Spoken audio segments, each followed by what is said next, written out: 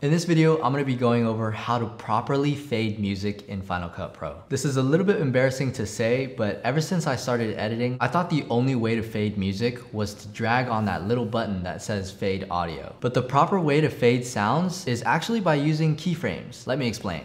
So here I am in Final Cut Pro. I have a couple clips and some text and the sound that we're gonna be using. So the feature that I used to use was this little button right here where it says fade audio out and over here it says fade audio in. And I would just drag this and then that's it. That's all I would do. But this became a problem once I started to do outros because in order to do this on the same song, what you would have to do is you would have to cut it right at the part where you want it to progressively get louder. So if I wanted it to be loud right here, here, I would cut it beforehand and then drag the slider up to the point. But if you do it this way, then it sounds a little bit weird and the transition isn't that effective. What you wanna do instead is use keyframes. So in order to use keyframes, what you would have to do is you would click on the sound and then you'd go up to the top right hand corner, right here where it says add a keyframe. You would click on that and then you would see right here at the sound that there's a white dot that shows up. So I'm gonna go ahead and add another keyframe to where I want it to be loud. And you can use these two arrows right here to go from the next keyframe to the previous keyframe keyframe. So I'm gonna go back to the previous keyframe and I'm gonna lower the volume down to about negative 22 decibels. That means throughout this whole segment right here, the sound is at negative 22 decibels. And at this moment where this keyframe is, it's gonna start slowly transitioning all the way up to negative 4 decibels. This is also good when you're trying to transition from B-roll back to A-roll where the person is talking. Obviously the B-roll is gonna have music that's louder, and then once the person on the screen starts talking, that's when you can lower down the volume. The great thing about this is you can add as many keyframes as you want. So if there's parts of the video where you start talking and then it switches to b-roll and then you start talking again, then you can add and remove keyframes to your video so that it makes sense. So I'll show you guys an example of what I mean right now. So I have this clip right here. I'm gonna drag it in between and I'm gonna extend the audio to the end. So let's say this is the b-roll portion right here. So I want the music to be louder, but then for this section, I want it to be lowered. Well, all I would have to do is just choose a point where I wanna start. So let's say right here, I would click on the audio and then go up to here where it says add keyframe. Then I would add a keyframe at the end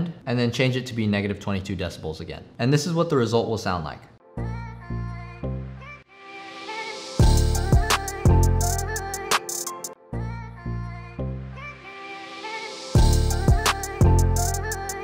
So as you guys can tell from that clip, that sounded a lot better instead of cutting the clips and using the built-in fade feature. You could still use the fading button for things like sound effects and things that you want to fade from the beginning or at the end. But if you want to fade the middle parts without it sounding weird, then yeah, using keyframes is your best option. So that's it for this video. I hope you guys got a ton of value out of it. And if you did, please be sure to leave a like and subscribe for more videos like this. We make a ton of tutorial videos dedicated to helping entrepreneurs start their own business. Thanks for watching and I'll see you in the next video.